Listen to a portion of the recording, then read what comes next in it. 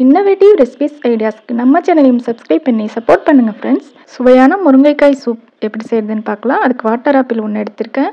நீங்கள் இதுக்கு பதில் தக்காளி பழம் யூஸ் பண்ணி கூட இதே மெத்தடில் செய்யலாம். இப்போது நான் நாலு முருங்கைக்காய் எடுத்துட்டு இதே மாதிரி ஸ்பூனால் எடுத்து வச்சுருக்கேன். அதனுடைய பல்ஸ் மட்டும் எடுத்துக்கணுங்க. இப்போது ஒரு வெங்காயம் ரெண்டு பச்சை மிளகாய் முருங்கைக்காய் எடுத்து வச்சுருந்ததையும் ஆட் பண்ணிவிட்டு வாட்டர் ஆப்பிள் ஒரு ஒன்றா நாலாக கட் பண்ணி சேர்த்துருக்கேன். அப்புறம் தேவையான அளவுக்கு உப்பு சேர்த்துருக்கேன். இஞ்சி பூண்டு பேஸ்ட் கால் ஸ்பூன் அளவுக்கு சேர்த்துட்டு மஞ்சள் தூள் கால் ஸ்பூன் ஜீரகத்தூள் அரை ஸ்பூன் கால் ஸ்பூன் பெப்பர் பவுடர் சேர்த்துக்கலாம். ஒரு ரெண்டுலேருந்து ரெண்டரை கப் தண்ணி ஆட் பண்ணிக்கோங்க. இப்போ ரெண்டு விசில் வச்சு இறக்கிட்டால் ரொம்ப சுவையான ஆரோக்கியமான சூப் ரெடி ஒரு கால் ஸ்பூன் அளவுக்கு லாஸ்ட்டாக ஒரு பெப்பர் பவுடர் ஆட் பண்ணி மிக்ஸ் பண்ணி விட்டுட்டு ஸ்டார்ட் பண்ணிவிடுங்க செம்ம சூப்பரான ஆரோக்கியமான சூப் ரெடிங்க வாட்டர் ஆப்பிள் இப்படி சாப்பிட்றதுக்கு ரொம்ப டேஸ்ட்டாக இருக்கும். வாட்டர் ஆப்பிள் உங்களுக்கு கிடைக்கலன்னா தக்காளி பழம் யூஸ் பண்ணிக்கோங்க.